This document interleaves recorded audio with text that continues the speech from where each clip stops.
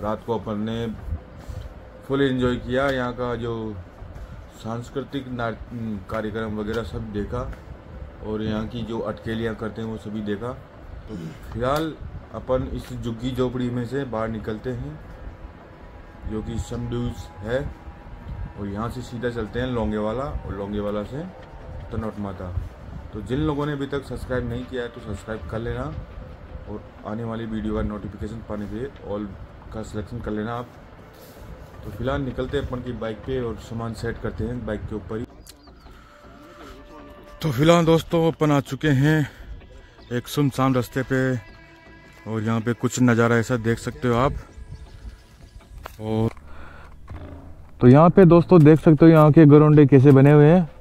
ऊपर छतरी नुमा मकान बना रखे सभी ने। यहाँ पे होता है टेम्परेचर बहुत ही ज़्यादा। इसको ध्यान में रखते हुए यहाँ पे ऐसी झोंपड़ियाँ बनाई जाती है। भेड़ बकरियाँ मिलती है यहाँ पे, भेड़ बकरियाँ। गाय, भैंसा नहीं मिलती। एक भेड़ पचास हज़ार, दूसरी भेड़ एक लाख।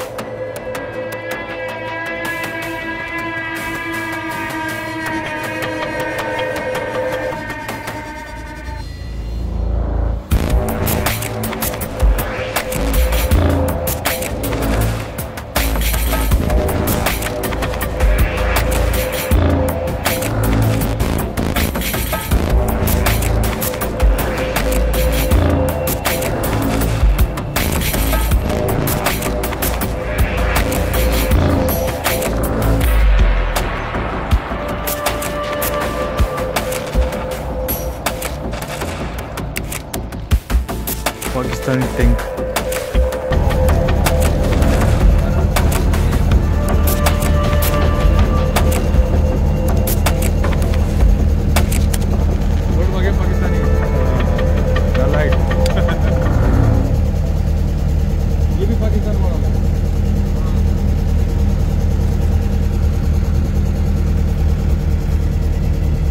रोमांचक कहानी है दोस्तों।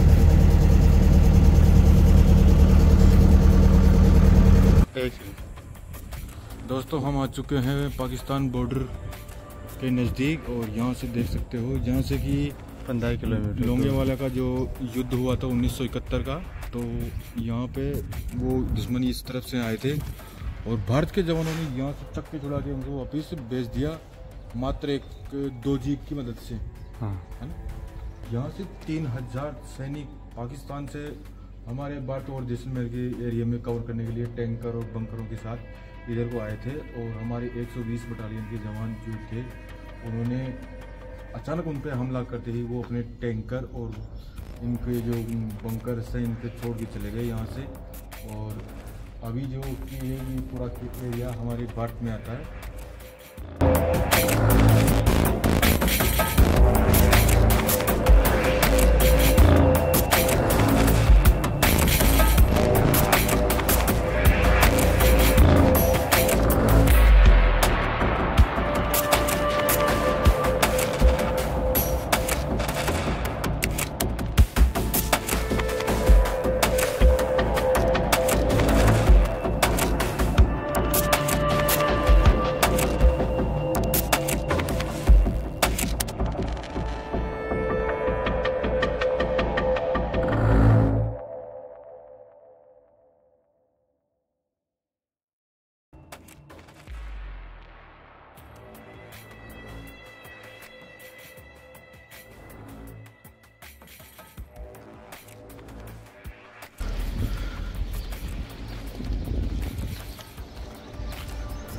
तो ये है दोस्तों लोंगे वाला म्यूज़ियम और इधर हैं मेमोरियल और वहाँ पे सामने है जो पाकिस्तान के टैंकर छोड़ के चले गए थे।